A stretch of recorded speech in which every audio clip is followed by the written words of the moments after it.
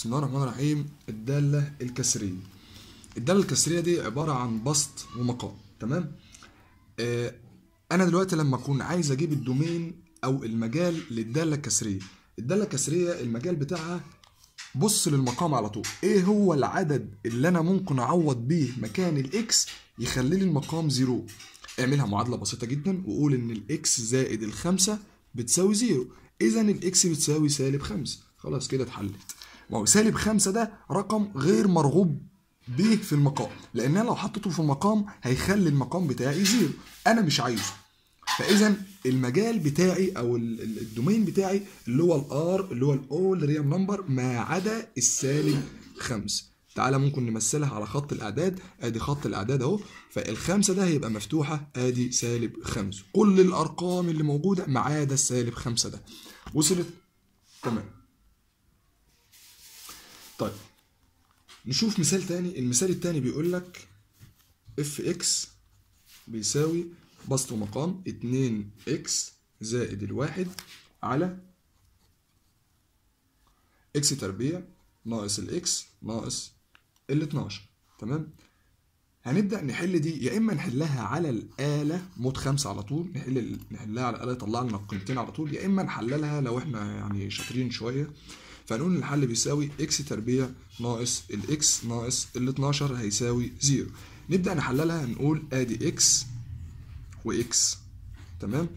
آه ضرب 12 فرقهم واحد هيبقى 4 في 3 4 في 3 طبعا الإشارة سالب فهتاخد إشارة مين؟ أدي إشارة سالب وأدي إشارة موجب لأن سالب في سالب سالب في موجب بسالب 12 تمام؟ فعندنا قيمة ال x هتبقى تساوي ال x بتساوي 4 وال x بتساوي سالب 3 تعال نمثلها على خط الأعداد. أدي خط الأعداد بتاعه أهو.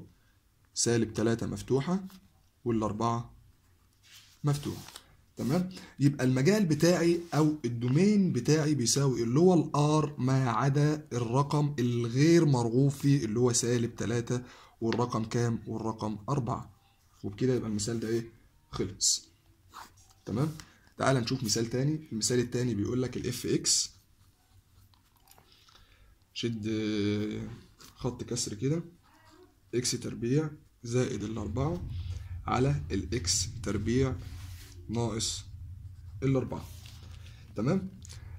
هنقوم مساويين المقام على طول بالصفر. هيبقى ال x تربيع ناقص الأربعة هيساوي zero. هيبقى ال x تربيع بيساوي الأربعة. هيبقى ال x لوحدها بتساوي موجب وسالب اتنين. تمام؟ هيبقى ال range بتاعي بديهيا كده المفروض إن أنا بقى خلاص بقى عرفت الدنيا بقت ماشية إزاي. هيبقى ال range بتاعي أو المدى بتاعي معلش آسف. هيبقى المدى بتاعي اللي هو ال R ما عدا الرقمين اللي هو موجب وسالب اتنين. تمام؟